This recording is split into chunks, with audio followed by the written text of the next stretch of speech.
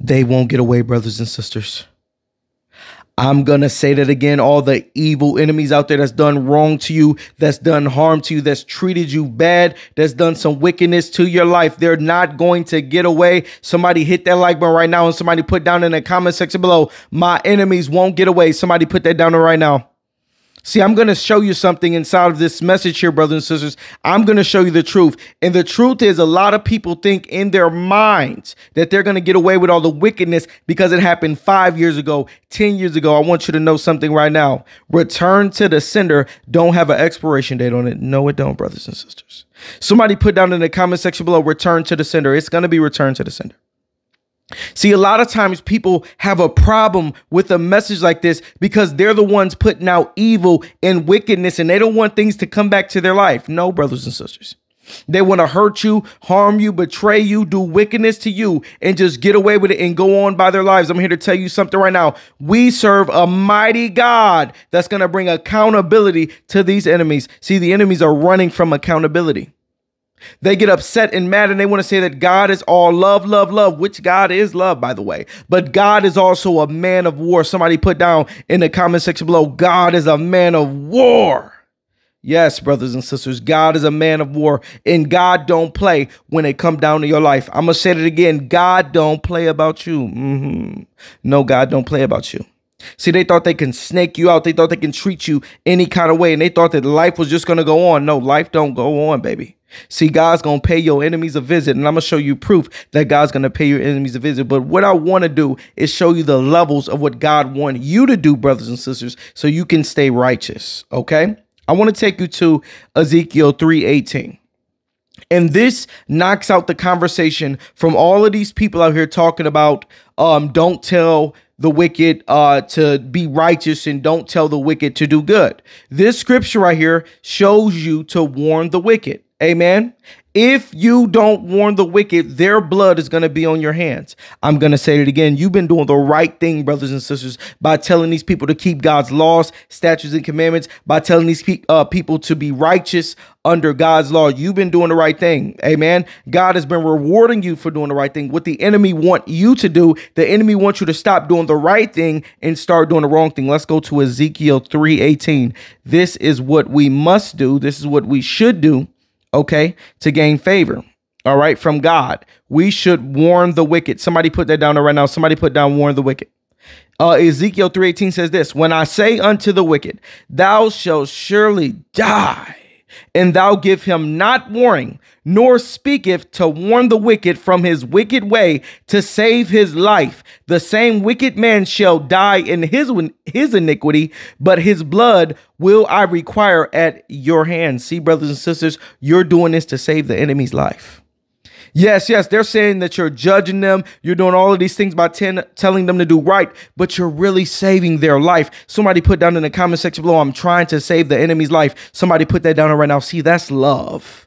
Amen. When the Bible tells you to love your enemies, that's love right there, brothers and sisters. You are loving the enemy. See, some people think that of the love of the enemy is just to hug them, kiss them, and bring them close to you. No, brothers and sisters, when you give the enemy correction, you are showing love to the enemy. The same way God gives us correction, brothers and sisters. If God didn't correct us, amen, God would not show a form of love to us. See, some people um, they don't understand the true love of God. See, God is correction. Amen. And some people only want one small part of God. Some people only want just the love and embracing part of God. But when it comes down to the judgment of God, the people start to disappear because they don't want to deal with the truth of God. See, when God corrects you, God corrects you out of love. That's love as well. Come on now. Let's keep going. And then it says this you are saving the enemy's life. You're doing something special when you warn the wicked, brothers and sisters. Okay, understand that. All right. So to start off from the very beginning, we must do what? We must warn the wicked. We must tell them their sins. We must tell them the iniquity that they're in. Why? Because it's going to help save their life. If we don't do this, their blood will be on our hand. Oh man, I'm going to say this again. If you don't do it, if you don't do your job, brothers and sisters, the enemy's blood will be on our hand. And we don't want the enemy's blood on our hand. Why? Because we know better. Somebody hit that like button right now. If you know better, mm-hmm, we know better, brothers and sisters. Why? Because we're cut from a different cloth. Why? Because we are obedient. We are the example. We are the leader. See, understand something about Christ.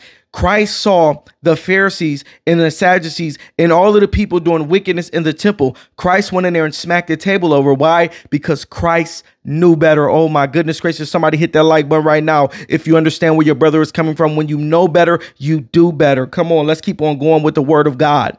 See, in other words, God is saying, as long as you know better, you will do better. Warn the wicked. That's step one. We must warn the wicked. Now, after we warn the wicked, we're going to go to Galatians 6 7.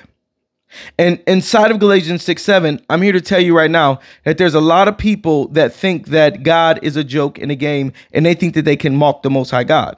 Okay? God is about returning to the sender. What you put out in this world, you will get back.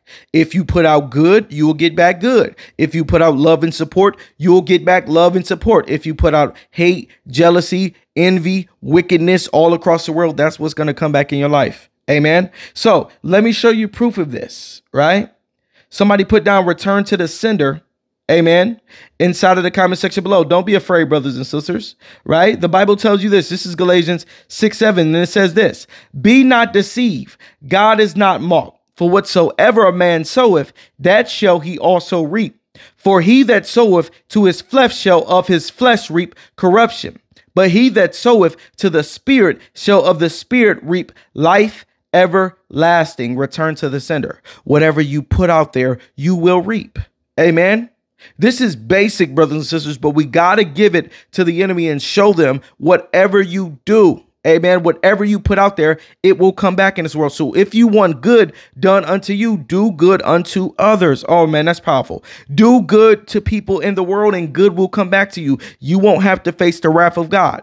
The truth of the matter is there's a lot of people out there that's doing wickedness and they think that God is not going to send the wrath back. That's why God told you in Galatians 6 7, be not deceived. Don't be deceived.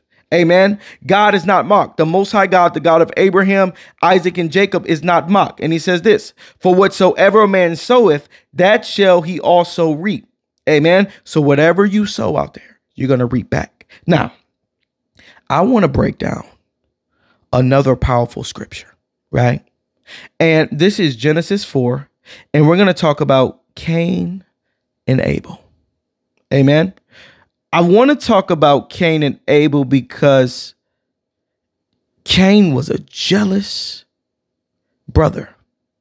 Cain was a jealous enemy, and Cain had the spirit of Satan in him. Amen. And I'm going to show you the spirit that Cain had inside of his soul. Once you see the jealousy of Cain, it was based off of the sacrifice that Abel gave. He was jealous of the sacrifice and he was jealous of the favor that Abel got from God. Let's go ahead and go there to the uh, scripture. We're going to go to Genesis 4 1. It says, And Adam knew Eve, his wife, right? And she conceived and bare Cain and said, I have gotten a man from the Lord. And she again bare his brother Abel. And Abel was a keeper of the sheep but Cain was a tiller of the ground. And in the process of time, it came to pass that Cain brought of the fruit of the ground an offspring unto the Lord. And Abel, he also brought the firstling of his flock and of the fat thereof, and the Lord had respect unto Abel and to his offering, brothers and sisters. The reason the Most High God had respect for Abel's offering versus Cain's offering is Abel gave his firstling, meaning he gave the first of the sheep, brothers and sisters. Amen.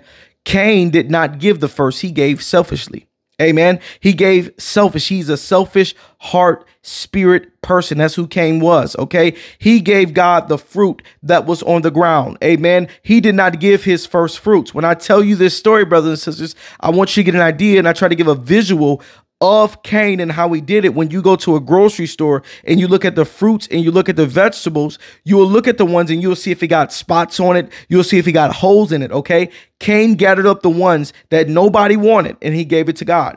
And God respected Abel's sacrifice. Understand that God respects the ones who give his first fruits. That's why that's what uh, God respected with the children of the uh, of Israel. When you give your first, that's what God required and that's what he respected, okay? So I wanted to break that down to give you an understanding of yes, Cain gave a sacrifice, but his sacrifice was a selfish sacrifice. Abel gave from the heart. Abel gave of love from God, and God knows the heart and God knows the spirit. Okay, now let's keep going.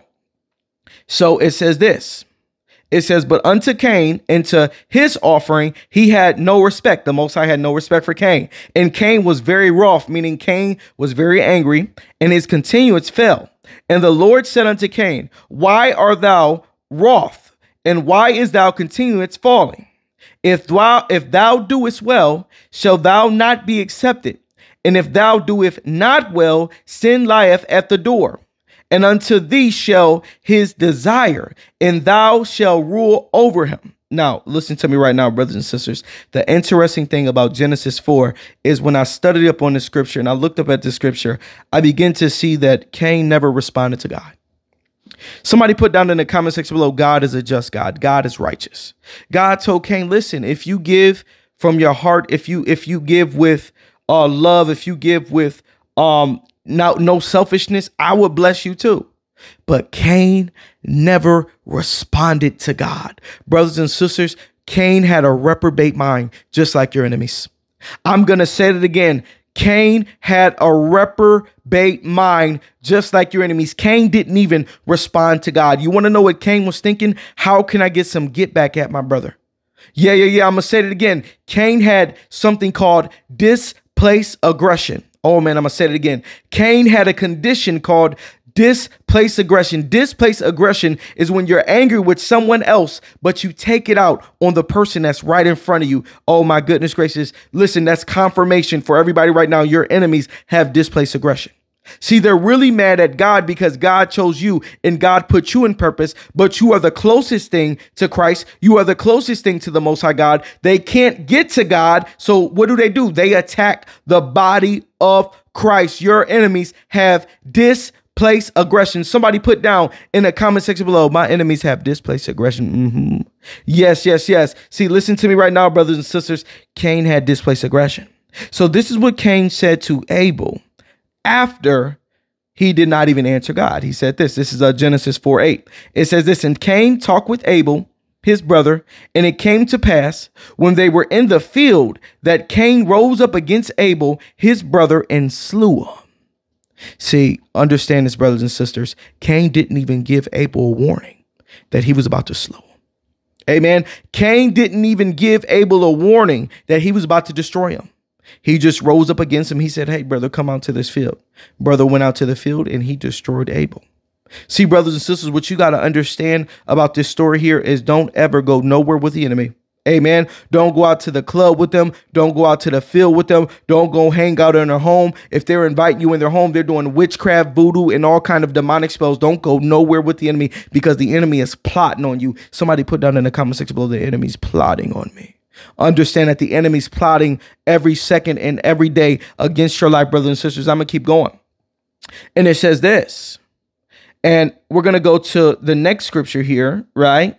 And it says, And the Lord said unto Cain, Where is Abel, thy brother? And he said, I know not. Am I my brother's keeper? Right then and there, brothers and sisters, he lied. He told the Most High God he didn't even know where um where uh, Abel was at. And it says this.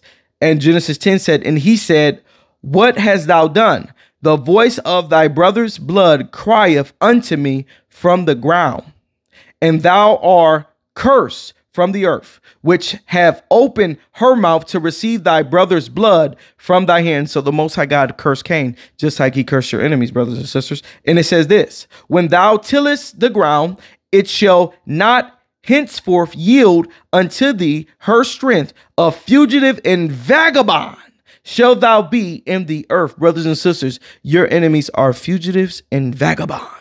That's what they are on this earth. Amen. Let's keep on going. And Cain said unto the Lord, My punishment is greater than I can bear. Imagine this, brothers and sisters. Cain just destroyed his brother, slew um, Abel, took him off the face of this earth. Now he's telling the Most High God, listen, this punishment that you're giving me is too great. It's too great than I can bear. And it's what the Most High said.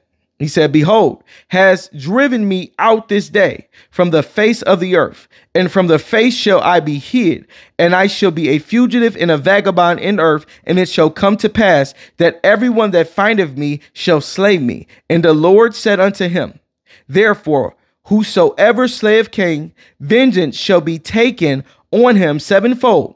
Amen. And the Lord set a mark upon Cain, lest any finding him should kill him. Listen to me right now, brothers and sisters. Now, I did my studying and research because I said this I said, Most High, why would you not want someone to return to the sender immediately to Cain? And as you begin to do your research over the scriptures, you begin to see that God allowed Cain to have generations after him. He allowed Cain to have a bloodline. Understand that God was using this to his advantage to prove a point to Cain. Amen. When I say that return to the sender, don't have an expiration date on it. God allowed Cain's seed to grow in this world. That way, in the end, God will wipe them all out. See, understand something. Cain's seed was perverted from the watcher's children. Amen. I'm going to say it again. Cain's seeds, right, was the ones who slept with the Nephilim. Okay and they were being destroyed and persecuted. Understand that God chose Noah, which was a righteous seed. Noah's father was Seth. Who was Seth? Seth was Cain and Abel's brother. See, Seth came after Cain and Abel. Amen. And Noah came through the bloodline of Seth. So the Most High had another righteous bloodline come in this earth. And here's what ended up happening, brothers and sisters. The Most High got vengeance back on Cain in old age. I'm going to show you proof through that. We're going to go to Jubilee, right? And we're going to go to chapter 4. And I'm going to take you to chapter 4. And we're going to go to chapter 4. Uh, we're going to start at 31. All right. It says this At the close of this Jubilee, Cain was killed after him in the year, in the same year. For his house fell on him, and he died in the midst of his house. And he was killed by its stones, for with the stone he had killed Abel and by a stone he was killed in righteous judgment. For this is the reason it was ordained on the heavenly tablets. With the instrument in which a man kills his neighbor, with the same he will be killed. After the manner that he wounded him, in like manner they will deal with him. Somebody put down in the comment section below, return to the sender. Cain was destroyed with the same instrument with the same tool that he used to slay Abel because Genesis 4 never tells you what he slayed Abel with. But now we have confirmation right here that it was a stone that he hit Abel with. All right, brothers and sisters? Cain was a murderer from the very beginning, and it was returned back to him. The Most High allowed generation, right, to be sent out from Cain for a purpose and for a reason. But in the end, the same stones that was sent out to destroy Abel was sent out upon Cain's head. Understand that this is real. Return to the sender is real. Karma has no expiration date on the brothers and sisters. And understand when I'm telling you this message and I'm giving you this clear, the Most High won't let your enemies get away with what they've done to you. Whatever the enemy has done to you, it will be sent back to them if they don't repent. All of your enemies must repent for how they treated you.